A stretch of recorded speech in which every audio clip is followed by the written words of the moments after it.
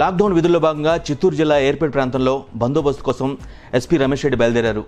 దారిలో వెంకటగిరి రహదారి పక్క పొలాల్లో కొంతమంది వరి నాట్లు వేస్తూ కనిపించారు. అంతే ఎస్పీ వెంటనే తన వాహనాన్ని ఆపేశారు. రైతుల వద్దకు వెళ్ళి వారి యోగక్షేమాలను అడిగి తెలుసుకున్నారు.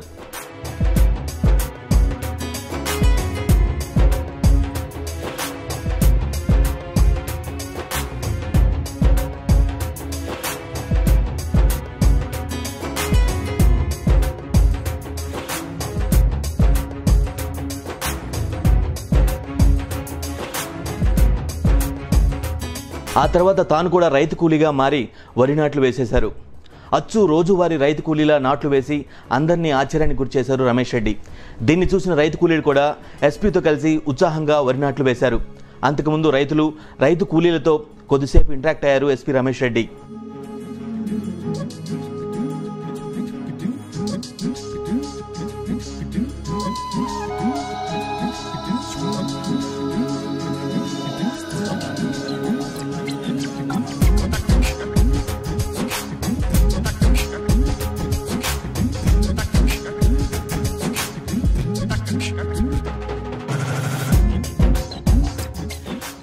వరి నాటు సందర్భంగా తన చిన్ననాటి జ్ఞాపకాలను గుర్తు చేసుకున్నారు. తాతల కాలం నుంచి వ్యవసాయమే తమ ప్రధాన ఆధారం అని చెప్పారు. వ్యవసాయ బలోపేతమే లక్ష్యంగా పలు సూచనలు కూడా చేశారు. వీకెండ్స్లో సినిమాలకు షికార్లకు పోయే బదులు అందరూ సొంత ఊర్లకే వెళ్ళి రైతులకు తోడ్పాటునిస్తే బాగుంటుందన్నారు. చదువుకున్న యువత కూడా వ్యవసాయం మీద దృష్టి సారిస్తే బాగుంటుందన్నారు. తానే కాదు తన బిడ్డలు కూడా రాబోయే కాలంలో వ్యవసాయం చేస్తారని ఆశిస్తున్నట్టు తెలిపారు.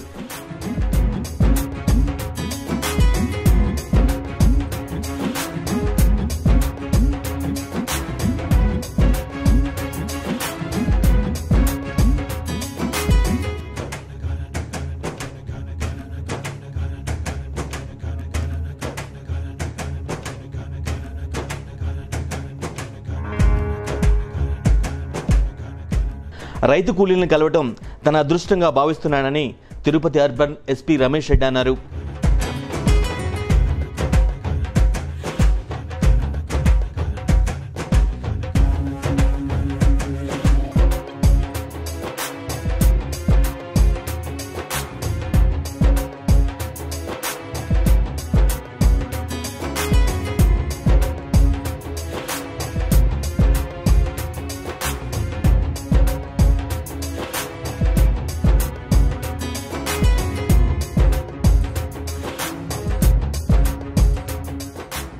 నిజానికి వ్యవసాయంపై ఎస్పీ రమేష్ రెడ్డికి ఇంత మక్కువ రావడానికి ఇంకో బలమైన కారణం కూడా ఉంది. ఐపీఎస్కు ముందు ఆయన చేసిన డిగ్రీ అగ్రికల్చర్ బీఎస్సీ. అంతే అంతా వ్యవసాయమే ప్రధానంగా ఆ కోర్సు సాగుతుంది. అందుకే వ్యవసాయం అంటే రమేష్ రెడ్డికి అంత ఇష్టం. వరి నాట్లు వేసి మన దేశం ఎక్కువగా నమ్మే జై జవాన్ జై కిసాన్ నినాదాన్ని చాటి చెప్పారు ఎస్పీ రమేష్ రెడ్డి. అంతేకాదు ఎంతోమంది ఉన్నతాధికారులకు అంతేకాదు ఎంతోమంది ఉన్నతాధికారులకు ఒక ఆదర్శంగా నిలిచాడు.